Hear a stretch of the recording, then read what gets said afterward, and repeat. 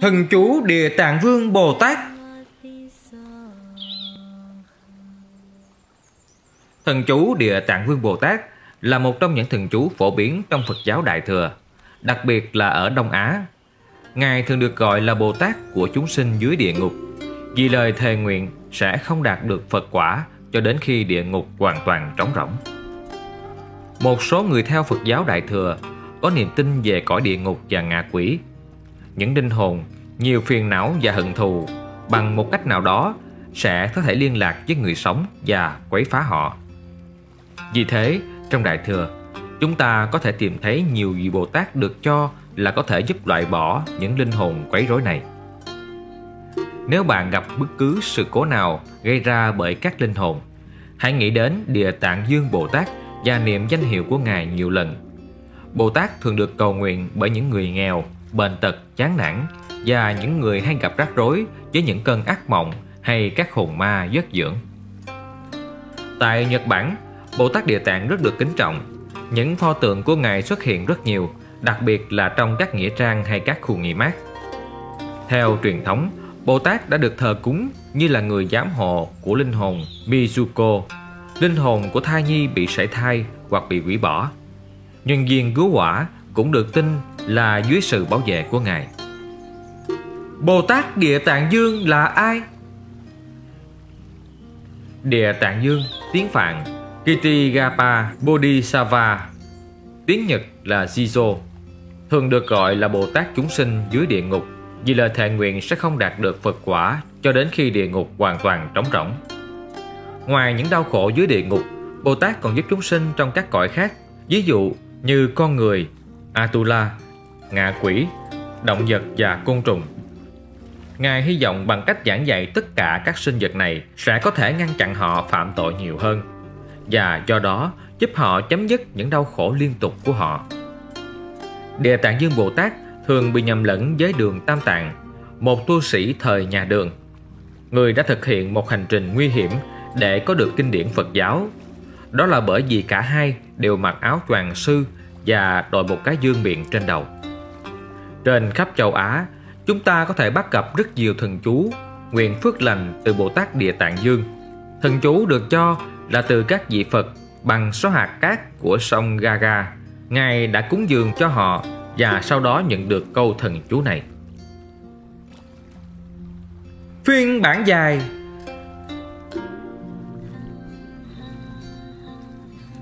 Himbo, Himbo, Chim Himbo, Akasa Himbo, Vakara Himbo, Amavara Himbo, Vara Himbo, Vajra Himbo, Agora Himbo, Rama Himbo, Sateva Himbo, Sateni Hala Himbo, Vivaroka Sava Himbo, Uva Sama Himbo, Nazana Himbo, Bana Sama Moni Ratna Himbo, Sana Himbo, Visema Varija Himbo, Sasitala Mava Himbo, Via Raso Tamahele, yamve yamve, Charase, Chara Vasile, Sili File Kavara, Vara Varite, Madere Ravari, Madere Ravare, Parechara Hamhane, Aradane Panchi Chacha, Hile Mile Akhata Thagehe, Thaga Hilo, Thare Thare Mile, Nate Kule Mile, Aku Chitabe, Aira Gire, Yara Gire, Kuta Sama Male, Tonaye Tonaye Tonaye, Huru Huru, Kulo Tomele, Morito, Mirita, Brahata, Kara Karem, Huru Huru. Phiên bản ngắn. Om ha ha ha, Winsamo Ti Soha. Nam mô Siti Gapra Bodhisattva. Om Baradade Sava Nam mô Jihawan Busa Nam mô Địa Tạng Dương Bồ Tát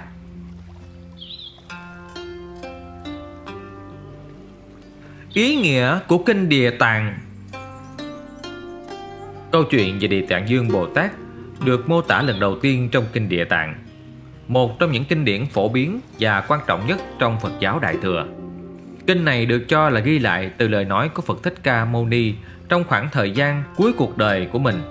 Đất Phật nói về những hình ảnh trên thiên đàng như là một dấu hiệu của sự ghi nhớ và lòng biết ơn dành cho người mẹ yêu quý của mình là Maya. Ý nghĩa trọng tâm của kinh Địa Tạng là lòng hiếu thảo với cha mẹ. Nó như một ánh sáng rực rỡ, chiếu sáng toàn thể vũ trụ. Cả vũ trụ đều vui mừng vì lòng hiếu thảo và vì thế giới người ta nói trời và đất cho rằng lòng hiếu thảo là thiết yếu. Hiếu thảo là quan trọng nhất. Với một người con hiếu thảo, cả gia đình đều an lạc. Kinh này cho thấy các phương pháp theo các giáo lý của Phật giáo và giải thích các công đức, đức tính của Bồ Tát Quán Thế Âm. Nó liên quan đến luật nhân quả và các hoạt động của nó bằng cách mô tả hậu quả do những hành động xấu gây ra. Nó cũng giúp chúng sinh tránh những sai lầm trong tương lai, gây ra đau khổ không bao giờ hết. Kinh điển đề cập đến trách nhiệm hiếu thảo không chỉ ngụ ý về gia đình họ hàng mà đối với tất cả chúng sinh như là một phần của một gia đình lớn trong vũ trụ. Trong kinh Địa Tạng, Đức Phật tuyên bố rằng cách đây một khoảng thời gian, Địa Tạng Dương Bồ Tát là một nữ tu Bà La Môn, Brahmin. Người đã trăn trở sâu sắc với linh hồn của người mẹ bị đẩy xuống địa ngục vì những phỉ bán tam bảo là Phật, Pháp và Tăng. Cô đã bán bất cứ thứ gì có thể và sử dụng tiền để mua đồ lễ cúng dương thờ phượng đất Phật hàng ngày nhằm cứu mẹ khỏi cõi địa ngục. Một ngày nọ, khi cô đang cầu nguyện trong đền thờ, cô nghe thấy Đức Phật bảo cô hãy về nhà, ngồi xuống và niệm tên của mình. Khi làm như lời Phật dạy, cô thấy mình đã chuyển đến địa ngục, nơi người giám hộ nói với cô rằng cô đã đạt được nhiều thành tích nhờ cầu nguyện chân thành và không còn ở địa ngục nữa. Lợi ích khi trì tụng thần chú Địa Tạng Dương Thần chú Địa Tạng Dương Bồ Tát có thể sử dụng khi ai đó gặp bất kỳ vấn đề khó khăn nào trong cuộc sống. Tụng niệm thần chú này 108 lần mỗi ngày sẽ giúp hóa giải mọi khó khăn, đau khổ của một người.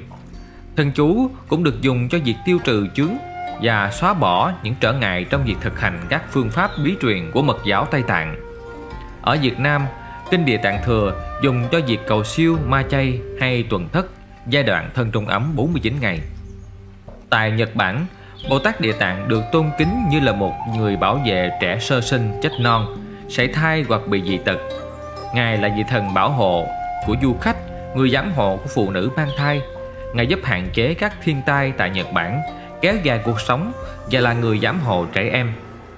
Bồ Tát xuất hiện với nhiều hình thức để giảm bớt đau khổ của người sống và người chết tại đây.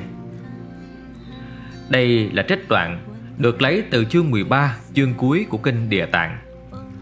Đức Phật nói, Akasa Gapa, lắng nghe, lắng nghe, chăm chú. Bây giờ tôi sẽ kể cho bạn nghe về những lợi ích khi niệm thần chú Địa Tạng Bồ Tát. Từng câu một. Trong tương lai, bất kỳ người đàn ông hay người phụ nữ tốt nào bày tỏ lòng tôn kính Địa Tạng Dương và nghe kinh này. Hơn nữa là dân hương, hoa quả, thực phẩm, để khen ngợi Bồ Tát sẽ đạt được những lợi ích sau. Thứ nhất, sự bảo vệ của chư thiên. Thứ hai, gia tăng hàng ngày công đức. Thứ ba, không bị tụt lùi trên con đường giác ngộ. Thứ tư, sự giàu có và quần áo và thực phẩm phong phú. Thứ năm, không xảy ra bệnh. Thứ sáu, không xảy ra thiên tai lũ lụt quả hoạn. Thứ bảy, không bị quấy rối bởi cướp hay trộm cắp. Thứ tám, sự ngưỡng mộ và tôn trọng của tất cả những người gặp phải. Thứ 9. Hỗ trợ bởi các vị thần và ma quỷ. Thứ 10. Biến đổi cơ thể phụ nữ thành cơ thể đàn ông khi tái sinh. Thứ 11 là con gái của một triều đình hoàng gia nếu được tái sinh như là một người phụ nữ. Thứ 12 sở hữu một hình dáng trang nghiêm và duyên dáng. Thứ 13 tái sinh thường xuyên trên cõi Phật. Thứ 14 đôi khi trở thành một hoàng đế hay một vị vua. Thứ 15, sở hữu sức mạnh kỳ diệu như việc biết cuộc sống trước đây của một người. Thứ 16, tất cả những cầu nguyện sẽ được trả lời. Thứ 17, hạnh phúc cho các thành viên trong gia đình. Thứ 18, loại bỏ tất cả những diễn biến bất ngờ và khó chịu. Thứ 19, xóa bỏ vĩnh viễn những nghiệp xấu. Thứ 20, luôn luôn được an toàn dù ở bất cứ nơi nào.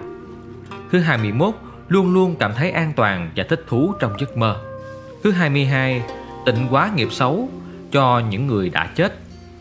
Thứ 23, được những lời khen ngợi của các vị thánh. Thứ 24, sở hữu trí tuệ thông minh và cơ thể khỏe mạnh.